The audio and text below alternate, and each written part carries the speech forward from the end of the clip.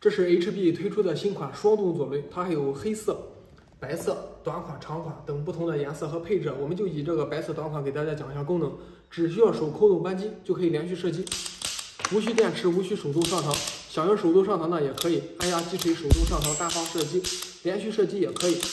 打光之后呢，拨动这里，打开转轮，一键退壳。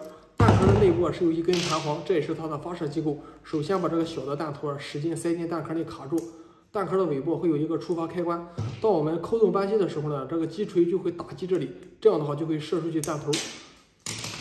手扣动扳机的同时呢，也会控制转轮的转动，这样的话就可以连续射击。